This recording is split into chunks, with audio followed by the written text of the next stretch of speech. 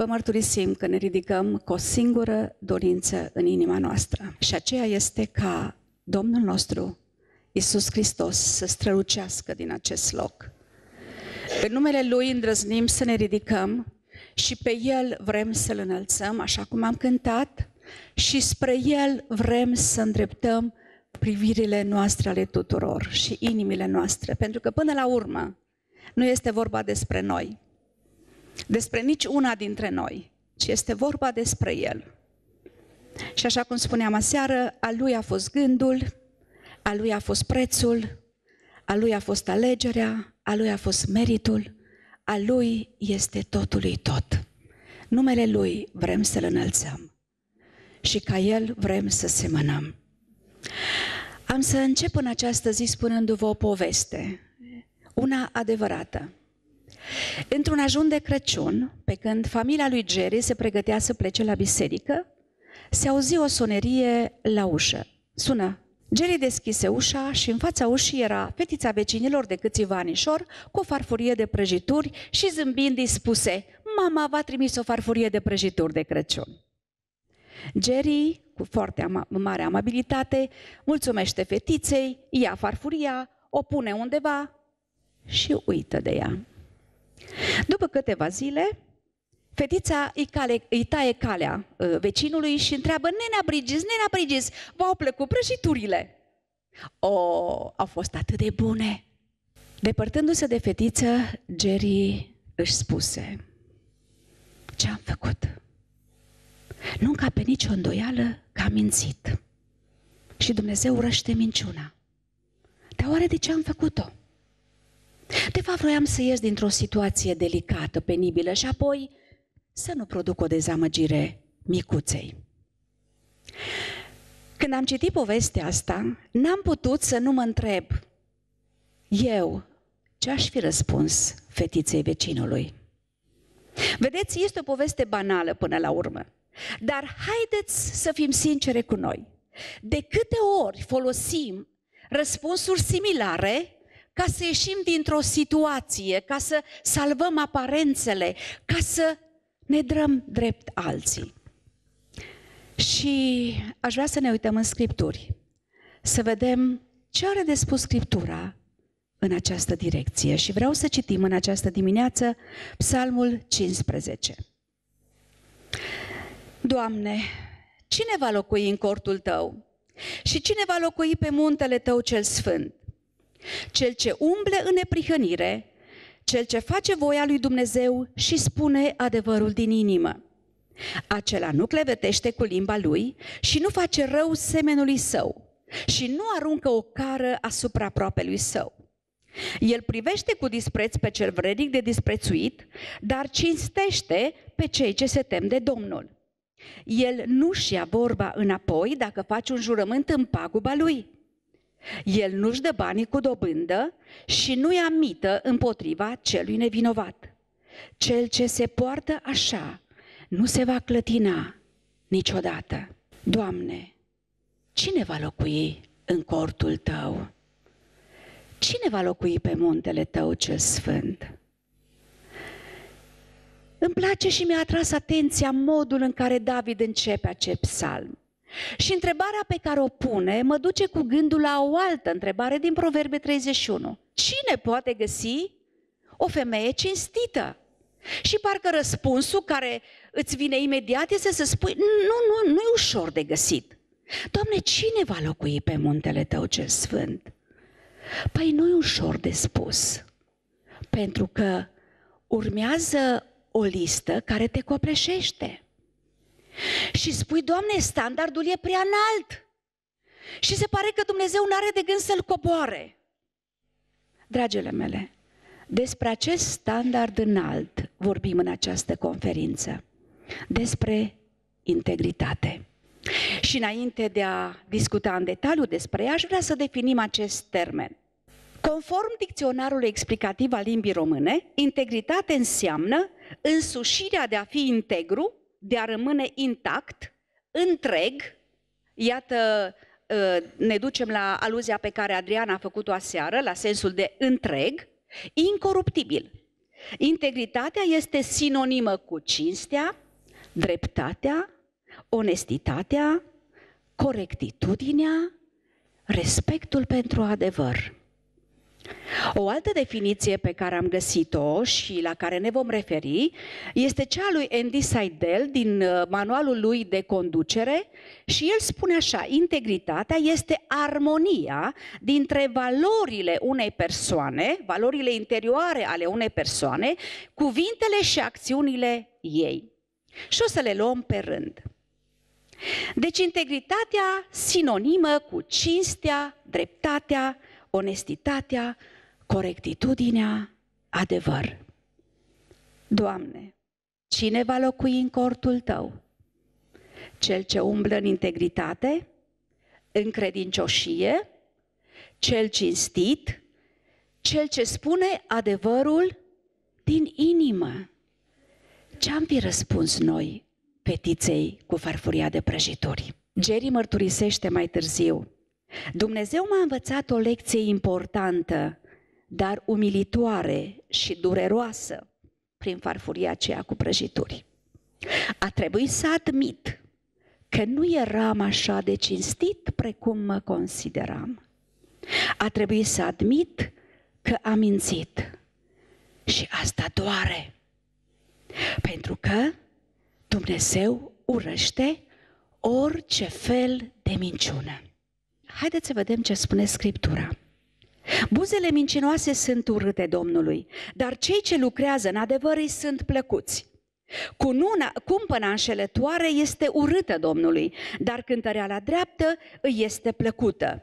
Și da al vostru să fie da și nu, nu.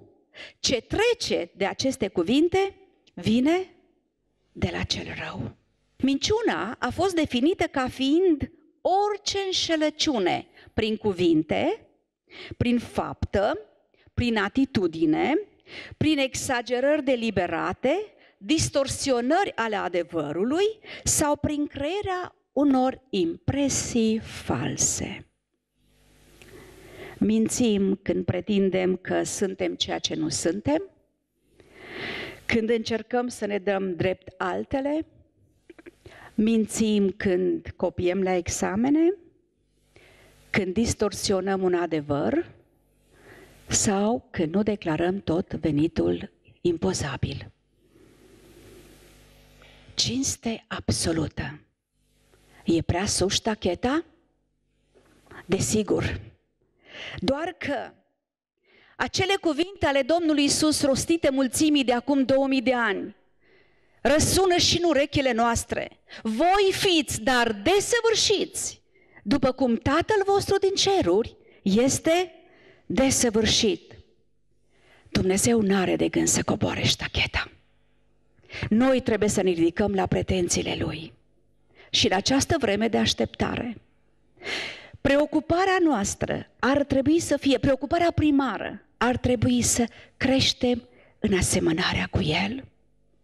Să-i semănăm tot mai mult, în așa fel că atunci când El va veni, să fim ca El să ne uităm la El, să învățăm de la El, pentru că până la urmă menirea noastră este să fim ca Isus. Ce ar fi răspuns Isus fetiței cu farfuria de prăjituri? Nu știu, dar un singur lucru știu, că n-ar fi mințit.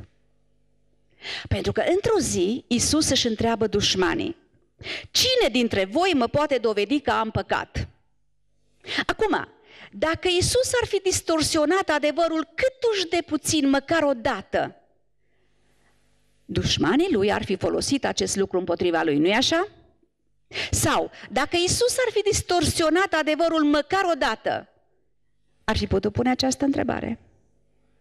Dragile mele, nu dușmanilor, haideți să îndrăznim să punem această întrebare în dreptul nostru prietenilor. Ce ziceți? Oare n-ar găsi și prietenii noștri ceva potigneli în noi? Ca să nu mai zic dacă am întrebat pe cei care ne iubesc mai puțin. E o mare provocare. Gândiți-vă apoi la un alt exemplu, la Daniel. Și este scris, dușmanii lui n-au putut găsi nici o vină în el. Fantastic! Păi Isus a fost Fiul lui Dumnezeu, înțelegem. Dar Daniel a fost un om, 100%. Și Isus a fost om 100%. Colegii aceia lui Daniel, funcționarea aceea guvernamental, ar fi, în gelozia lor împotriva lui Daniel, ar fi folosit orice lucru cât de mărunt să-l compromită pe Daniel, să găsească o mică inconsecvență. Dar n-au găsit nimic, nicio vină în el. Se vede clar că Daniel a fost un exemplu de integritate absolută. Ce impact a avut o asemenea viață asupra celor din jur? Să vă citesc câteva versete din Daniel. Ce impact a avut asupra împăratului? După aceea, împăratul Dariu a scris o scrisoare către toate popoarele, către toate neamurile, către oamenii de toate limbile care locuiau în toată împărăția.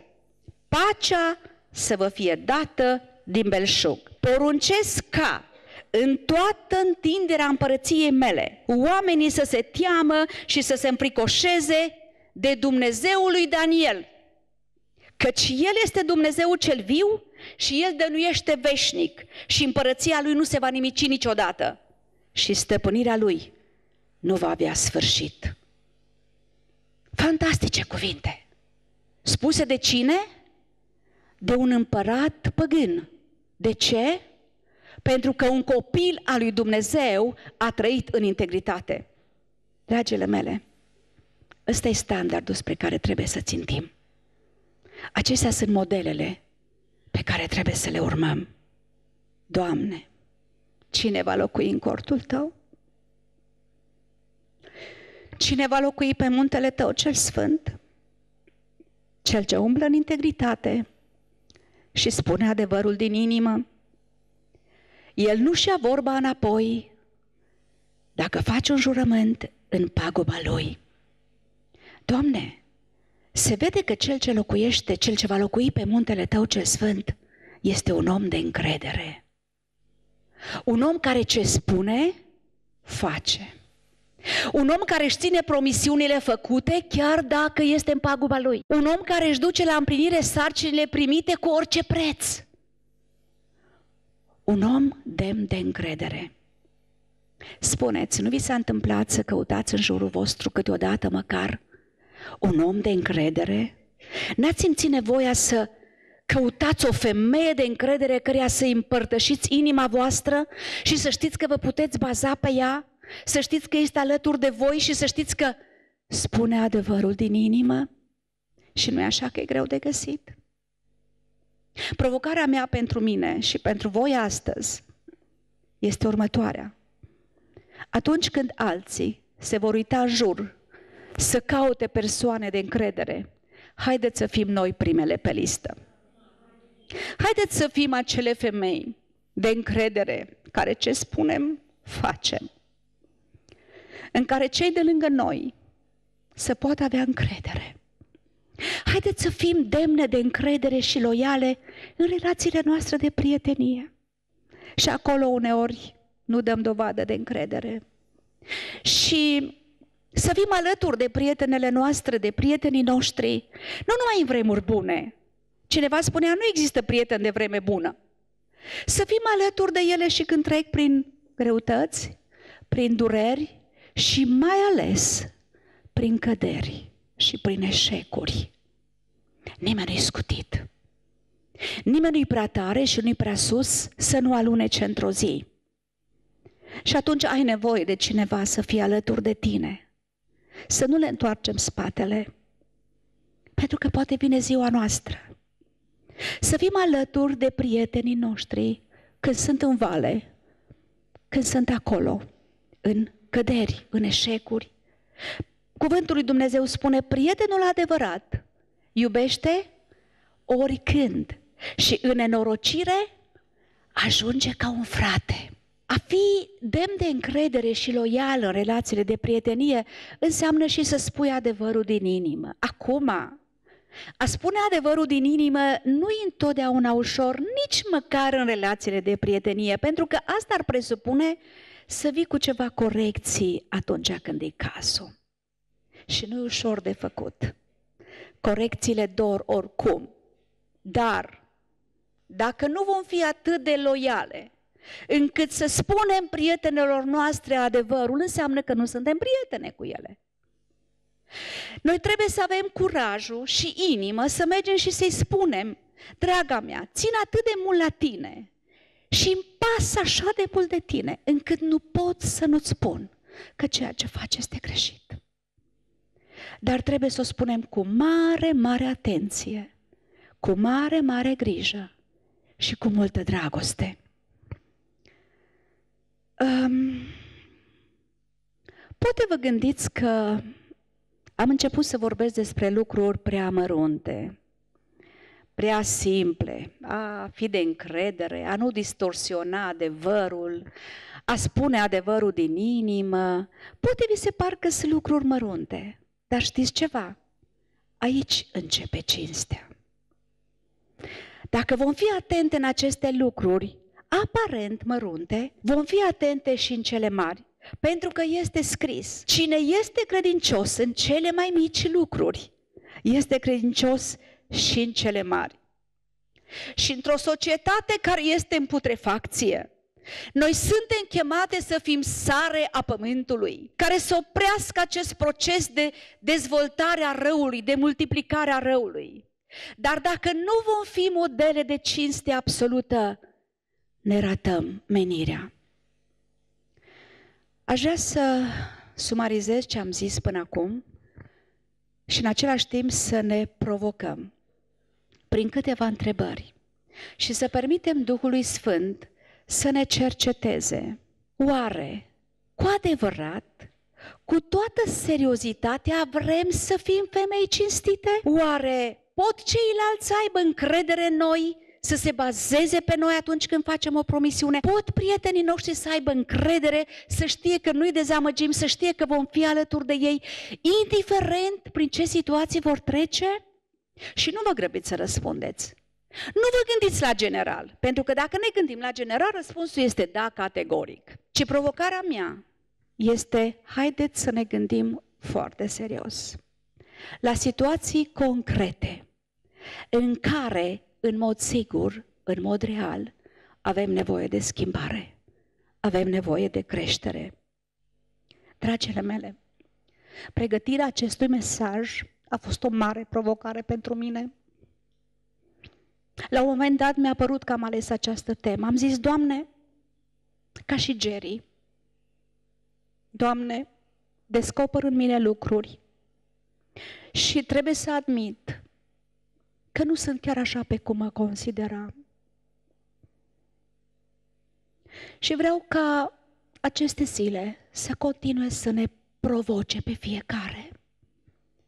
Nu-i de joacă, standardul este foarte înalt și Dumnezeu nu are de gând să-l coboare.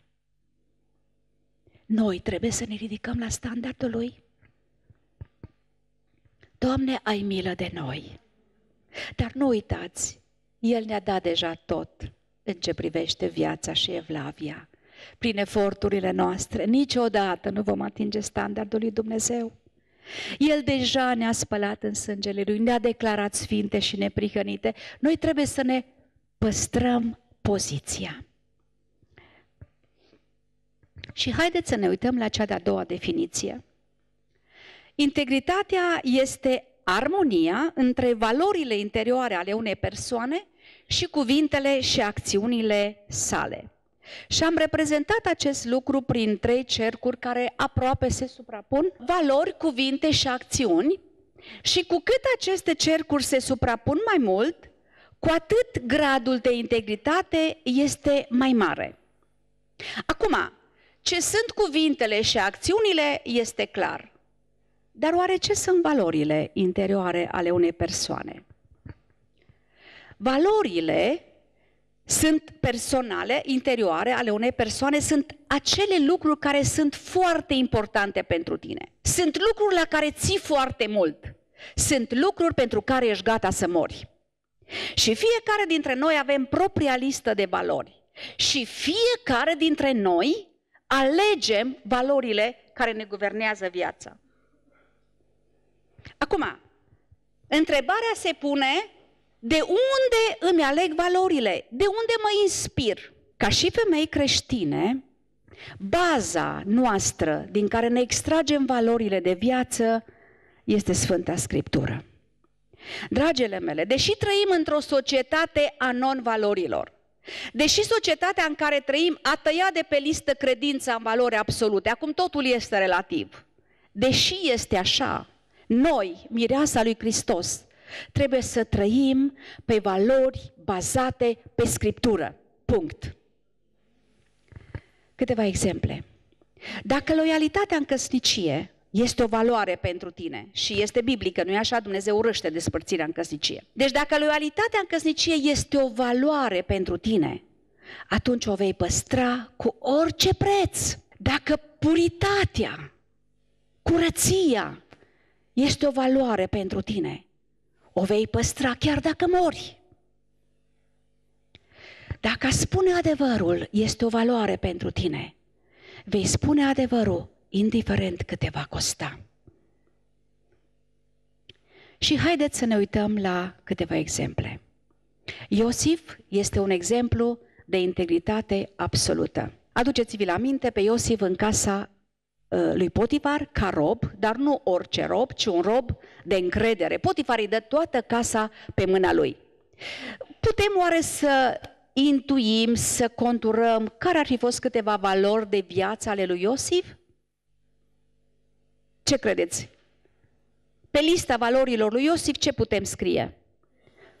Ascultarea de Dumnezeu, frica de Domnul, puritatea, curăția. Când soția stăpânului vine și încearcă să-l provoce, care este răspunsul lui Iosif? Cum aș putea să fac un rău atât de mare și să păcătuiesc împotriva lui Dumnezeu? Observați, nu împotriva stăpânului, era preocupat el să nu păcătuiască în primul rând, ci împotriva lui Dumnezeu. Au fost cuvintele lui Iosif în concordanță cu valorile lui? Desigur. Haideți să vedem faptele lui Iosif. Când uh, doamna Potivar îl forțează, încearcă să-l forțeze, ce face Iosif? Își lasă haina și fuge. A fost fapta lui în concordanță, în armonie cu vorbele și cu valorile lui. Asta înseamnă integritate. Iosif a fost un om integru. L-a costat ceva pe Iosif? O, mulți ani de pușcărie. Dar Iosif a fost fericit că și-a păstrat puritatea și și-a onorat Dumnezeul. Poate a zis într-o zi, Doamne, dacă Tu știi că sunt nevinovat, ce contează ce a crezut stăpânul meu? Important este ce știi tu și că te-am onorat pe tine. Haideți să ne întoarcem la Daniel. Uh, Daniel a rămas consecvent valorilor lui. Și atunci când s-a dat acel ordin ca nimeni să nu se închine nimănui în afara împăratului, ce face Daniel?